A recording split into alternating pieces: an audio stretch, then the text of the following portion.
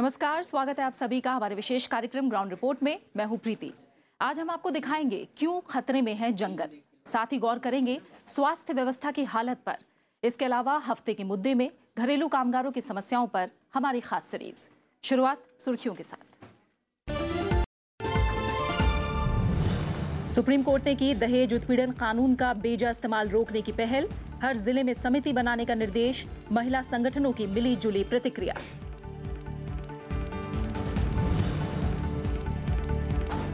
बड़ी विकास परियोजनाओं से जंगलों को खतरा घट रही है। वन भूमि, उत्तराखंड में सबसे ज़्यादा नुकसान।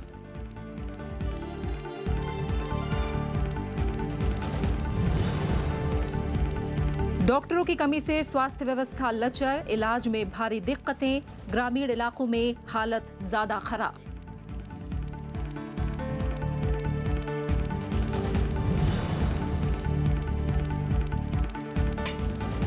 और बुनियादी सुविधाओं से महरूम है सिक्योरिटी गार्ड्स न काम के घंटे, न वेतन तय। कुशल श्रमिक का दर्जा होने के बावजूद बदहाल।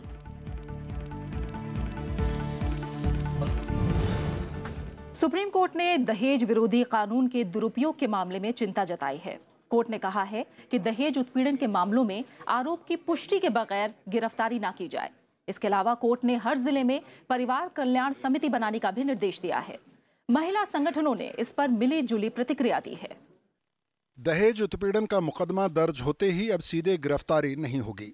एक मामले की सुनवाई के दौरान सुप्रीम कोर्ट ने आईपीसी की धारा चार ए का दुरुपयोग रोकने के लिए ये निर्देश दिए। अदालत ने कहा है कि इस तरह के मामलों में आरोपों की पुष्टि के बगैर गिरफ्तारी नहीं होनी चाहिए, क्योंकि निर्दोष व्यक्तियों के मानवाधिकारों की अनदेखी नहीं की जा सकती। इस मामले पर महिला संगठनों ने मिलीजुली प्रतिक्रिया दी है। सुप्रीम कोर्ट ने कानून को इंटरप्रेट किया है और बिल्कुल जो कानून में है, वही बात कही है। इसका मतलब कहीं ये नहीं है कि दहेज का कानून अपने आप में कमज़ोर किया जा रहा है या सुप्रीम कोर्ट के इंटरप्रिटेशन के बाद लोग ये समझे कि गिरफ्तारी नहीं होगी।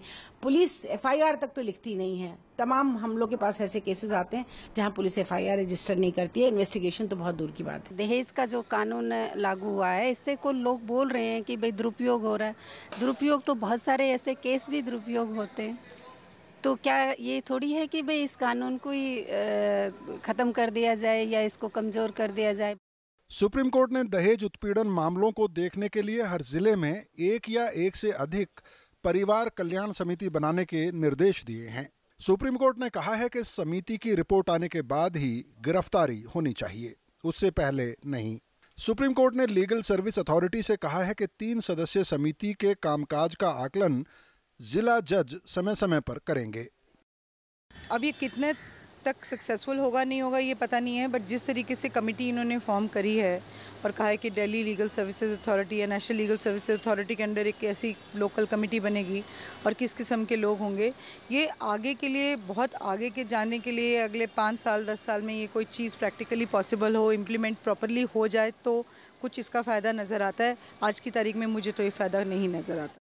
साथ ही अब सरकार ने दहेज और घरेलू हिंसा के झूठे मामलों में सताए गए पुरुषों को भी राष्ट्रीय महिला आयोग में शिकायत करने का मौका देने की पहल की है। केंद्रीय महिला और बाल विकास मंत्री मेनका गांधी ने इस बारे में राष्ट्रीय महिला आयोग की अध्यक्ष ललिता कुमार मंगलम को पत्र लिखा है। इसमें कहा गया है कि दो सप्ताह के अंदर ऐसे पुरुषों के लिए राष्ट्रीय महिला आयोग के शिकायत के ऑनलाइन सिस्टम में एक अलग विंडो बनाया जाए। हालाँकि एनसीडब्ल्यू अधिकारियों ने कहा है कि ये कदम उन दिशा निर्देशों के खिलाफ है जिन पर आयोग आधारित है। दिल्ली से ग्राउंड रिपोर्ट के लिए नव विक्रम और आइए इसी पर हम बात करते हैं ललिता कुमार मंगलम से, जो कि राष्ट्रीय महिला आयोग की अध्यक्ष हैं। ललिता जी बहुत बहुत शुक्रिया राज्यसभा टीवी के साथ जुड़ने के लिए आपका। सुप्रीम कोर्ट के निर्देश पर आपकी प्रतिक्रिया। देखिए, सुप्रीम कोर्ट ने जो निर्देश दिया है, उसे समझने की ज़रूरत है। उन्होंने अपने नज़रिए से ये दिया है, पर इसके पीछे जो ये कहते हैं कि फैक्ट है कि इस लॉ का मिसयूज हो रहा है। इसके पीछे जो कारण है वो शायद वो समझ नहीं पाए और मैं तो मतलब मानती हूँ कि जिस पीआईएल के ऊपर इन्होंने ये जजमेंट दिया है उसमें ज़रूर ये लिखा नहीं होगा। ज़्यादातर महिलाएँ जो हमारे देश में पुलिस स्टेशन तक पहुँचती है कोई भी कंप्लेंट के साथ फॉर एग्ज़ाम्पल उदाहरणतः राष्ट्रीय महिला आयोग में जो साल में तेईस से पच्चीस हज़ार कंप्लेंट आते हैं उनमें से 60 परसेंट डोमेस्टिक वायलेंस पारिवारिक हिंसा पर है। अभी पारिवारिक हिंसा का जो कानून है उसमें लॉयर्स का कोई मतलब रोल ही नहीं है। तो जब महिला पुलिस स्टेशन जाती है वहाँ भी वहाँ हमेशा ये कहा जाता है कि आप क्यों आ रहे हैं? ये पारिवारिक मामला है। आ, समाज क्या कहेगा? आप क्या अपना परिवार तोड़ना चाहती है? वगैरह वगैरह। आप जो जानते हैं जो टिपिकल पेट्रियाकल जो बात होती है वो मतलब बेचारी कहाँ और जाएगी? वो जाती है लॉयर के पास। और लॉयर ये कहते हैं कि देखिए अगर आप 498 ए डालते हैं तो हम आपको रिलीफ दिलवा देंगे। और फिर एक्चुअली इसी कारण से और इसी मतलब इसी बैकग्राउंड के ये में महिला जो डेस्परेट है वो इस कानून का दुरुपयोग होता है। अब सुप्रीम कोर्ट अपने नज़रिए से जो उन्होंने कहा है शायद एक हद तक ठीक है। परंतु जो इसके पीछे क्यों ये कानून मिसयूज हो रहा है इस पर हमें रिसर्च करनी चाहिए ज़रूर। और कोर्ट को भी इसका मतलब इसका इसको संगीन में लेते हुए उनको कुछ और रिकमेंडेशंस गवर्नमेंट को या पुलिस स्टेशंस को स्पेशली जो पुलिस फोर्स है मतलब पुलिस ही है जो पहले जगह हम जिनके पास हम जाते हैं कोई भी महिला कोई भी आदमी या महिला अगर कोई उन पर कुछ अत्याचार हो तो वही तो पहले जाते हैं। अगर वहाँ उन्हें रिलीफ नहीं मिलते हैं तो ये क्यों ऐसे हो रहा है ये जानकर कोर्ट को इसके बारे में भी कुछ करनी चाहिए। तो इस तरह के रिकमेंडेशन कोर्ट की तरफ़ से दिए जाए क्या? इसे लेकर आप लोग की तरफ़ से कोई कदम उठाया जाएगा कोई पहल की जाएगी? अभी जब सुप्रीम कोर्ट ने ऐसे ये दिया है तो वी विल मतलब हम वी कैन नॉट हम कोर्ट को रेकमेंड नहीं कर सकते कि आप ये करें। बट बहुत सारी जो संगठने हैं जो महिलाओं के मुद्दे पर काम कर रही है महिला सशक्तिकरण वगैरह सिक्योरिटी वगैरह के लिए जो काम कर रहे हैं आई एम श्योर कि वो भी उसको अभी लेके इसको लेके कुछ आगे ये करेंगे कोर्ट तक जाएँगे और पूछेंगे या कोर्ट से रिक्वेस्ट करेंगे कि आप इसके बारे में भी सोचकर कुछ बताइए। फ़िलहाल बहुत बहुत शुक्रिया आपका ललिता कुमार मंगलम हमारे साथ जुड़ने के लिए और इस तमाम बातचीत के लिए। तो ज़ाहिर तौर पर सुप्रीम कोर्ट के निर्देश के बाद जैसा हमने ललिता को भी सुना मिली जुली प्रतिक्रियाएँ तमाम महिला संगठनों की तरफ़ से आ रही हैं। आइए फ़िलहाल आगे बढ़ते हैं। जंगल खतरे में है और बीते तीस साल में विकास परियोजनाओं के नाम पर बड़े पैमाने पर जंगलों की कटाई हुई है। इस दौरान औद्योगिक परियोजनाओं के नाम पर तमाम तरह के प्रोजेक्ट शुरू किए गए और लगभग इन प्रोजेक्ट्स की संख्या तेईस हज़ार सात सौ सोलह है। और इनमें से ज़्यादातर परियोजनाएँ उत्तराखंड में शुरू की गई। इससे इंसान और जानवरों दोनों को खतरा है। उत्तराखंड से हमारी खास ग्राउंड रिपोर्ट। जंगल खतरे में है। पिछले तीन दशक में भारत में करीब पंद्रह हज़ार वर्ग किलोमीटर जंगल क्षेत्र अतिक्रमण की भेंट चढ़ गया है। इन इलाकों में 23,716 औद्योगिक परियोजनाएँ लगी और उनसे 14,000 वर्ग किलोमीटर जंगल बर्बाद हुआ। सबसे ज़्यादा जंगल खनन ने निकला। उसके बाद रक्षा और पन बिजली परियोजनाओं का नंबर आता है। वन गंवाने के मामले उत्तराखंड पहले पंजाब दूसरे और हरियाणा तीसरे स्थान पर है। वहाँ जहाँ रास्ता नहीं है वहाँ चल चल के आदमी जैसे पैदल चल चल के जैसे घर बना रहे हैं कि वहाँ रोड नहीं है। धीरे धीरे रोड बन रहे हैं। जहाँ तक जैसे सकते हैं वहाँ तक जो चलते चलते जैसे अपना रोड बनते जा रहा है बढ़ते जा रहा है। देश में पेड़ों और जंगल का कुल क्षेत्रफल सात लाख चौरानवे हज़ार दो सौ छियालीस वर्ग किलोमीटर है जो कुल भौगोलिक इलाके का चौबीस दशमलव एक छह प्रतिशत है। हाल में देश में पेड़ और वन का दायरा बढ़ाने की खबरें आई हैं, लेकिन लंबी अवधि को ध्यान में रखें तो जंगल घटे हैं। हालिया आंकड़ों के मुताबिक 2013 से 2015 के बीच पेड़ों और वन के समग्र क्षेत्रफल में पाँच हज़ार इक्यासी वर्ग किलोमीटर का इजाफा हुआ। लेकिन 1880 से 2013 के बीच भारत में जंगल का क्षेत्रफल 40 फ़ीसदी कम हो गया। ह्यूमन बींग इसके लिए जिम्मेदार है। जिम्मेदार इन द सेंस है कि एक तो उसको इस चीज़ का ज्ञान नहीं है कि फॉरेस्ट को किस तरीके से हमको यूज़ करना है। डे बाय डे उसकी डिमांड बन रही है, बढ़ रही है। लकड़ी जलाने के लिए भी चाहिए, उसको मकान बनाने के लिए भी चाहिए। अपनी मर्ज़ी से ज़रूरत उसको सपोज़ वन क्यूबिक फीट की है तो वो दस क्यूबिक फीट काटेगा और इधर उधर डाल देगा। वन संरक्षण कानून के तहत स्थानीय लोगों को जंगल को हानि पहुँचाने के लिए दंडित किया जाता है, जबकि उत्तराखंड के बहुत से लोगों के लिए वन उत्पाद आजीविका का साधन है। दूसरी तरफ़, औद्योगिक मकसदों के लिए उपयोग लकड़ी की गैर कानूनी कटाई और अवैध खनन के कारण वन क्षेत्र का हरास जारी है इससे हो रहे नुकसान को तभी सीमित किया जा सकता है, जब हरास के अनुपात में नए जंगल लगाए जाएँ। जेनेटिक मॉडिफिकेशन से फॉरेस्ट कवर इस तरह से बढ़ सकता है कि हमारी जो कम उम्र में पकने वाली जो प्लांट स्पीसीज हैं, खासकर यूकलिप्टस हो गया, कैजुरिना हो गया या मीलिया हो गया, पॉपुलर हो गई तो इनमें क्या होता है कि जेनेटिक मॉडिफिकेशन के थ्रू इनमें जड़ और जो इसका तना है, काफ़ी तेज़ गति से बढ़ता है जिसकी वजह से हम इसको आसानी से एक तो आ, मतलब नर्सरी में प्लांट कर सकते हैं और नर्सरी में अगर ये अच्छी मात्रा में ग्रो हो जाते हैं तो इसको फार्म फ़ील्ड तक पहुँचाने में बहुत आसानी हो जाती है। भारतीय वन सर्वेक्षण के मुताबिक 2015 में उत्तराखंड में कुल 24,240 वर्ग किलोमीटर वन क्षेत्र था। ये 2013 की तुलना में दो सौ अड़सठ वर्ग किलोमीटर कम था। एक अनुमान के मुताबिक साल 2025 तक भारत में 2300 स्क्वायर किलोमीटर से ज़्यादा का फॉरेस्ट कवर खत्म हो चुका होगा। डिफॉरेस्टेशन की वजह से भारत के एनुअल रेनफॉल पर भी असर पड़ रहा है। अगर डिफॉरेस्टेशन इसी गति से चलता रहा और हमने कोई कदम नहीं उठाया तो स्थिति बद से बदतर हो जाएगी। उत्तराखंड से कैमरा पर्सन अश्विनी कुमार के साथ ग्राउंड रिपोर्ट के लिए कृति मिश्रा, राज्यसभा टीवी। और आइए इसी पर हम सीधे बात करते हैं। अपने संवाददाता कृति मिश्रा से हमारे साथ न्यूज़ रूम में मौजूद हैं। कृति, जंगलों की अंधाधुंध कटाई। हम जानते हैं कि जलवायु परिवर्तन ग्लोबल वार्मिंग का सबसे बड़ा कारण है। और खासकर अगर उत्तराखंड की बात करें तो हाल में आई इतनी बड़ी तबाही और गाय बगाहे, भूस्खलन की छोटी बड़ी घटनाएँ कितने खतरनाक स्तर पर हालात हैं इस समय? देखिए प्रीति 2013 के बाद जो उत्तराखंड की त्रासदी हुई, उसकी जो स्टडी की गई कि सबसे ज़्यादा इम्पैक्ट जो पड़ा है, जो सबसे ज़्यादा नेगेटिव इम्पैक्ट पड़ा है आपको जान के हैरानी होगी कि वो सबसे ज़्यादा उन एरियाज़ में हैं जहाँ पर सबसे ज़्यादा जंगलों की कटाई हुई है। पिथौरागढ़ हो गया कुमाऊँ हो गया या गढ़वाल हो गया, इन सारे एरियाज़ में लगातार फॉरेस्ट को काटा गया है। चाहे वो परियोजनाओं के लिए हो, आपको पता है कि हाइड्रो इलेक्ट्रिक पावर प्रोजेक्ट्स बहुत सारे लगे हैं उत्तराखंड में। वो एक बहुत बड़ा रीज़न है। दूसरा एग्रीकल्चर के लिए लगातार फॉरेस्ट को काटा जा रहा है क्योंकि जो एग्रीकल्चरल क्रॉप्स हैं, उनको उगाए जा सके। ये तो हो गए मैन मेड रीजन जो लगातार हम कंस्ट्रक्शन के लिए, क्योंकि आपको पता है कि उत्तराखंड टूरिस्ट डेस्टिनेशन बहुत बड़ा है, उसको देवभूमि जाता है तो लगातार होटल्स लैंड यूज़ चेंज करके उसको एग्रीकल्चर से कमर्शियल बनाकर होटल्स बनाए दिए जाते हैं अनरेगुलेटेड एग्रीकल्चर हो रहा है लेकिन एक बहुत बड़ा एक जो नेचुरल फैक्टर भी है जो फॉरेस्ट की कटाई का है या फॉरेस्ट बर्बाद होने का है वो इंसेक्ट्स हम्म। का भी है हम्म। कि उसमें इंसेक्ट्स ऐसे लगते हैं जो पूरी पूरे जो पेड़ होते हैं उनको नष्ट कर देते हैं या फिर जो नेचुरल कॉजेज़ होती हैं चाहे फिर हम उसको लैंडस्लाइड बोल लें क्योंकि उससे बहुत ज़्यादा हम्म। पेड़ जो हैं वो गिर जाते हैं इन्हीं सारे रीजंस की वजह से लगातार जो फॉरेस्ट कवर है, वो उत्तराखंड का या फिर पूरे देश का कहें वो घटता जा रहा है जो एक बड़ी समस्या और हाल ही में हमने देखा था उत्तराखंड के जंगलों में आग भी लगी थी। इस तरह की वजह भी हो सकती है कृति इसके पीछे। लेकिन हम देखें पर्यावरण के लिए अलग मंत्रालय देश में तमाम जागरूकता अभियान अंतर्राष्ट्रीय स्तर पर इतनी बड़ी बैठकें जिन पर तमाम माथापच्ची और चिंताएँ ज़ाहिर की जाती हैं। इसके बावजूद लगातार हम देख रहे हैं वनों की कटाई और ज़्यादा बढ़ती जा रही है। क्या कोई राह कोई उम्मीद दिख रही है ताकि इस पर लगाम लग सके?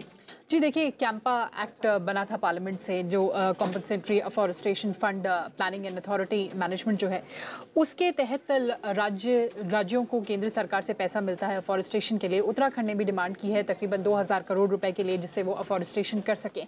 लेकिन बहुत इंपॉर्टेंट लगाम लगाना कंस्ट्रक्शन एक्टिविटीज़ पे है प्रीति जो फॉरेस्ट की कटाई हो रही है उसको रोकना ज़रूरी है क्योंकि हम जो मैन मेड रीजन्स हैं उसकी वजह से हम जो फ्लोरा और फोना है उसका जो पूरा एक सेटअप है उसको बिगाड़ रहे हैं हम उनके टेरिटरी में घुसते जा रहे हैं फिर वो चाहे वो टाइगर्स की टेरिटरीज हो या फिर मंकीज़ की टेरिटरी हो ये बहुत इंपॉर्टेंट है कि किस तरह से हम कंस्ट्रक्शन रेगुलेट करें हम्म।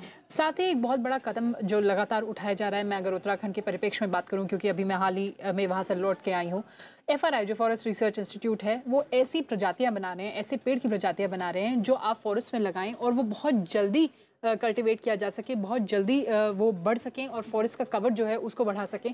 तो ऐसी कई चीज़ों पर शोध हो रहा है। हाँ। जैसा कि आपने फॉरेस्ट कवर की बात कही वो सबसे बड़ा उसका रीज़न है पाइन जो पाइन हाँ। पेड़ होता है जो बहुत ही एक इंडिजिनस है उत्तराखंड के लिए उसकी जो पत्तियाँ होती हैं वो गिर जाती हैं और जब वो कलेक्ट होती हैं तो फ्रिक्शन से उनमें आग लगती है और फॉरेस्ट फायर हो जाती है। उसको कलेक्ट करके इलेक्ट्रिसिटी जनरेशन का भी काम हो रहा है ताकि फॉरेस्ट फायर से भी जो फॉरेस्ट हाँ। को नुकसान होता है उसको रोका जाए बिल्कुल कृति और देखें तो उत्तराखंड में ही नहीं बल्कि देश के लगभग हर राज्य में अंधाधुन जो वनों की कटाई है वो बहुत बड़ा चिंता का विषय है। फ़िलहाल बहुत बहुत शुक्रिया आपका हमारे साथ बातचीत के लिए। और प्रकृति हमें पहले ही विनाश के संकेत कई बार दे चुकी है और पूरी दुनिया में अगर बात करें तो सिर्फ़ तीस फ़ीसदी वन क्षेत्र ही बचा हुआ है जो अपने आप में एक खतरे की घंटी है।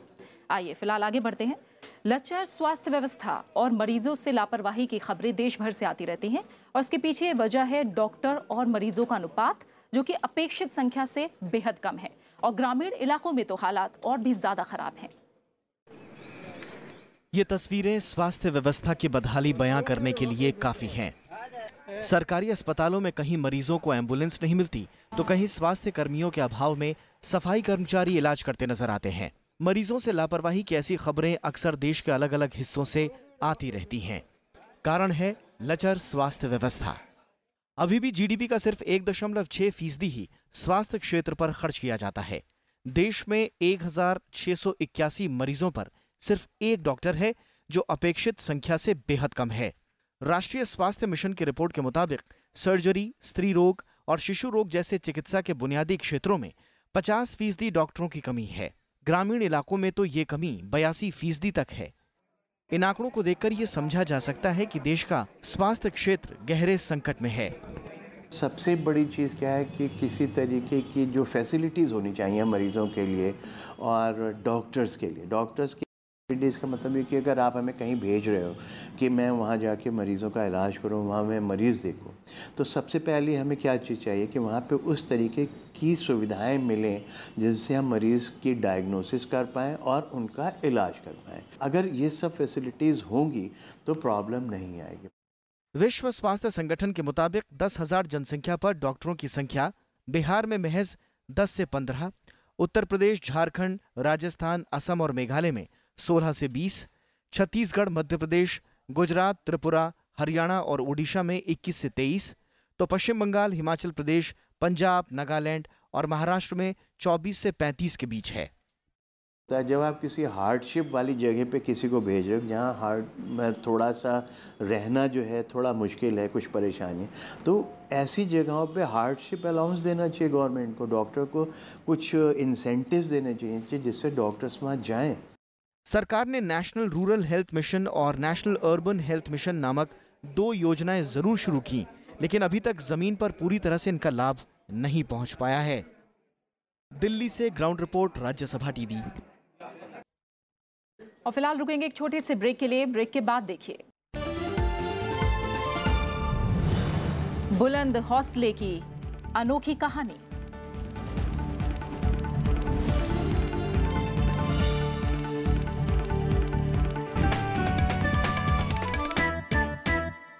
हवाओं में वो आग है कि जल उठे, चराग है।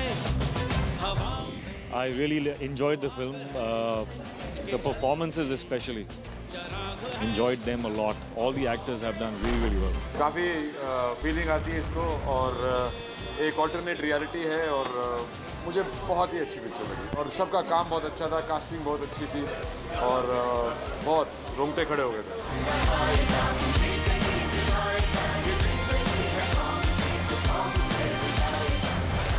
really enjoyed it. It was um, very informative, very historic और मुझे लगा कि जिन लोगों को शायद uh, बहुत information नहीं है about this time and this freedom movement, it's really like a very entertaining history lesson.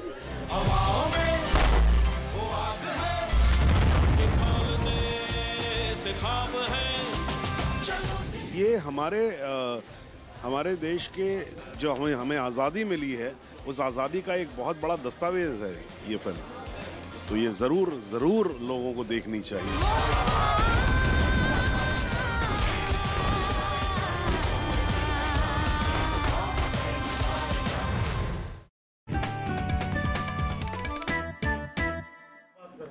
और अब हफ़्ते का मुद्दा।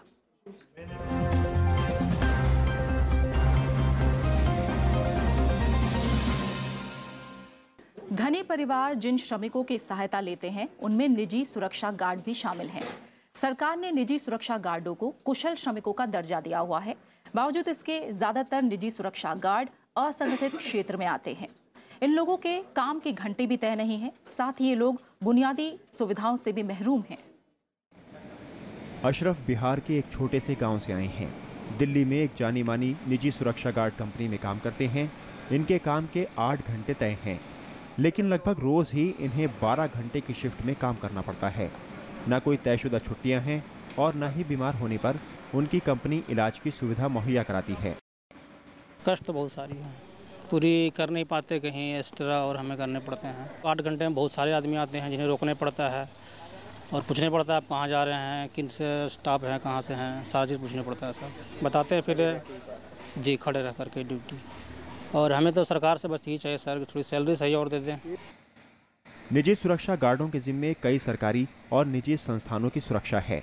भारत सरकार ने हाल में निजी सिक्योरिटी गार्डों को कुशल और सशस्त्र सुरक्षा गार्डों और सुरक्षा सुपरवाइजरों को अत्यधिक कुशल श्रमिक का दर्जा दिया है। न्यूनतम वेतन कानून के तहत कुशल श्रमिक के लिए पंद्रह हज़ार रुपये और अत्यधिक कुशल श्रमिक के लिए पच्चीस हज़ार रुपये का न्यूनतम मेहनताना तय है। देश में करीब एक हज़ार निजी सिक्योरिटी गार्ड कंपनियाँ रजिस्टर्ड हैं। प्राइवेट सिक्योरिटी गार्ड के तौर पर लगभग 70 लाख लोग काम करते हैं, लेकिन उनमें से तीन फ़ीसदी गार्ड ही संगठित क्षेत्र में आते हैं। ये वो गार्ड हैं जो रजिस्टर्ड कंपनियों में काम करते हैं। बाकी सुरक्षा गार्डों में से ज़्यादातर को शोषण का शिकार होना पड़ता है। सिक्योरिटी कंपनी भी इन्वॉल्व है एक्सप्लोरेशन में। They are getting handsome amount from their clients but they are not transferring it to the concern guard और कंसर्न सिक्योरिटी गार्ड उस पर सरकार को ध्यान देना चाहिए। अभी क्या होता है, कैश दे देते हैं, कैश में साइन किसी और पे करा लेते हैं और देते कुछ और हैं। सुरक्षा गार्डों के संगठनों की मांग है कि केंद्र सरकार के दिशा निर्देशों पर राज्यों में फ़ौरन अमल किया जाए। इन गाइडलाइंस के तहत सुरक्षा गार्डों की न्यूनतम मजदूरी तय है। अब तक कई राज्यों ने न्यूनतम वेतन तय किया है, लेकिन उनमें एक रूपता नहीं है। हकीकत यही है कि जब तक सभी निजी सिक्योरिटी गार्ड संगठित क्षेत्र का हिस्सा नहीं बनते तब तक उन्हें सोशल सिक्योरिटी हासिल नहीं हो सकेगी। दिल्ली से ग्राउंड रिपोर्ट के लिए प्रणव गोस्वामी। उत्तर प्रदेश सरकार 2018 तक प्रदेश की उनसठ हज़ार ग्राम पंचायतों को ओडीएफ यानी खुले में शौच से मुक्त घोषित करने का दावा जता चुकी है। लेकिन इटावा में ओडीएफ घोषित हो चुके गाँव की हकीकत ये है कि यहाँ अभी भी लोग खुले में शौच के लिए जाने को मजबूर हैं। हमारी खास रिपोर्ट। इटावा का दतावली गाँव कागजों पर तो ओडीएफ यानी खुले में शौच मुक्त हो चुका है लेकिन हकीकत कुछ और ही बयां करती है। लोग अभी भी खुले में शौच करने के लिए मजबूर हैं। ग्रामीणों का आरोप है कि गाँव में 50 फ़ीसदी घरों में ही शौचालय बने हैं। प्रधान और अधिकारियों की वजह है अपने अपने लोगों को दे रहा है दो हज़ार रूपए में। दो हज़ार किस तरीके से लेता है क्या कह रहा है पहले एडवांस में दो हज़ार दो आपकी पहले की बनी हुई है तब भी पास होगी। बारह हज़ार मिलेगा। Fifty percent? जी हाँ। फिफ्टी परसेंट घरों में लेटरिन है ही नहीं। नहीं है। इसकी जाँच करवा लीजिए एक एक घर में जाँच करवा लीजिए। इटावा में 471 पंचायतें और छह सौ पचासी राजस्व गाँव हैं। इनमें 20 गाँव ओडीएफ घोषित हो चुके हैं। लेकिन उन गाँवों की हालत भी दतावली जैसी ही है जबकि प्रशासन के पास ग्रामीणों की शिकायत का कोई तसल्ली बख्श जवाब नहीं है। ओडीएफ तो देखिए समय हम पूरा ज़िले को करना है इकतीस दिसंबर तक। इस समय हमारा जो टारगेट था, हमने 16 गाँव ओडीएफ ऑनलाइन घोषित कर दिए, जो स्टेट से हो गए हमारे। चार गाँव हमारे जनपद से हो गए टोटल हमारे 20 गाँव हमारे ओडीएफ घोषित कर चुके हैं। इस अभियान के तहत केंद्र और राज्य सरकार की ओर से बारह हज़ार रुपए एक शौचालय के लिए मंजूर किए जाते हैं। गाँव के हर घर में शौचालय बनने के बाद संबंधित अधिकारी इसकी जाँच करते हैं। फिर गाँव को खुले में शौच से मुक्त घोषित किया जाता है। मगर इटावा ज़िले में जो सूरत सामने आई है उससे ओडीएफ गाँव घोषित करने की पूरी प्रक्रिया पर ही सवाल उठना लाजमी है। इटावा से ग्राउंड रिपोर्ट राज्यसभा टीवी। और अब का एक पन्ना जिसमें आज एक नज़र भारत के परमाणु शक्ति बनने की यात्रा पर। भारत सरकार ने उन्नीस सौ चौवन में एक अलग परमाणु विभाग की स्थापना की। उन्नीस सौ छप्पन में मुंबई में भारत के पहले परमाणु रिएक्टर की स्थापना हुई। दरअसल ये एशिया का पहला परमाणु रिएक्टर था। इसके बाद भारत में अनेक परमाणु ऊर्जा संयंत्र स्थापित हुए। इन संयंत्रों को प्रथम प्रधानमंत्री पंडित जवाहरलाल नेहरू की दूरदर्शिता का परिणाम समझा जाता है। पंडित नेहरू मानते थे कि परमाणु ऊर्जा दुनिया के सामाजिक, आर्थिक और राजनीतिक जीवन में एक क्रांति लाएगी। इस तरह भारत दुनिया के पहले विकासशील देशों में से था जिसने परमाणु ऊर्जा के महत्व को समझा। आज़ादी के एक साल बाद ही महान परमाणु वैज्ञानिक होमी जहांगीर भाभा की अध्यक्षता में परमाणु ऊर्जा आयोग की स्थापना हुई, ये आयोग सीधे प्रधानमंत्री के निर्देशन में काम करता था। और अब कहानी एक असाधारण जज्बे की। भोपाल के अनिल ताम्रकर एक हादसे का शिकार हुए, जिसके बाद उनके दोनों हाथ काटने पड़े। लेकिन उनके हौसले परास नहीं हुए। वो ऑटो रिक्शा चलाते हैं और रोज़ाना बेखौफ होकर कई लोग उनके ऑटो की सवारी करते हैं। सैतालीस वर्षीय अनिल ताम्रकर और उनका छोटा सा परिवार। देखकर हैरानी होती है कि जिस शख्स के दोनों हाथ आधे कटे हुए हों, वो गाड़ी कैसे चला रहा है। लेकिन ये कहानी इनकी हिम्मत और हौसले की है, इसीलिए जो मुसाफिर इन्हें जानते हैं, वो बेखौफ होकर इनके ऑटो में बैठते हैं। कोई डर नहीं लगता है और काफ़ी समय जा रहे हैं। तो सही तरीके से गाड़ी चला लेते हैं मतलब नॉलेज है, अनुभव है उनको। तो अन- किसी बात की टेंशन नहीं रहती है गाड़ी जब चलाते हैं वो तो सही तरीके से चला लेते हैं। कई साल पहले अपने घर में पाइप उठाते वक्त ये बिजली के तार की चपेट में आ गए थे। उस हादसे में जान तो बच गई लेकिन इन्हें अपने हाथ कटवाने पड़े। इसके बावजूद ताम्रकर ने हिम्मत नहीं हारी और परिवार के भरण पोषण के लिए फिर ऑटो चलाने का फैसला किया। घर में कोई कमाने खाने वाला नहीं है। तो बच्चा पढ़ाई कर रहा है तो मुझे ये सब करना पड़ा था। जवाबदारी मेरे घर की, जवाब मेरे ऊपर ही है। सब चीज़ें मैं तो प्रैक्टिस करना पड़ी। उसका फिर मैं रोड पे आ गया हूँ। मैं उस टाइम पे स्कूल में था तो मेरे मन में ये भी ख्याल आता था कि मैं पढ़ाई छोड़ दूँ और जो पापा काम करते थे वही करने लगूँ गाड़ी चलाने लगूं ताकि थोड़ी बहुत तो कुछ हेल्प हो जाए। उसके अलावा उस टाइम में ट्वेल्थ चल रहे थे तो मैं ट्वेल्थ भी मतलब अच्छे से दे नहीं पाया। इतने बड़े हादसे का शिकार होने के बावजूद अनिल ताम्रकर ने अपने परिवार को कोई दिक्कत नहीं होने दी। बच्चे की पढ़ाई नहीं रुकने दी और वो हताश नहीं हुए, बल्कि संघर्ष किया और जीत कर दिखाया। इस अनोखे साहस से आज वो सबके लिए एक मिसाल बनकर उभरे हैं। भोपाल से ग्राउंड रिपोर्ट, राज्यसभा टीवी। और इसी के साथ ग्राउंड रिपोर्ट के आज के सफ़र में फ़िलहाल इतना ही। इजाज़त दीजिए। नमस्कार।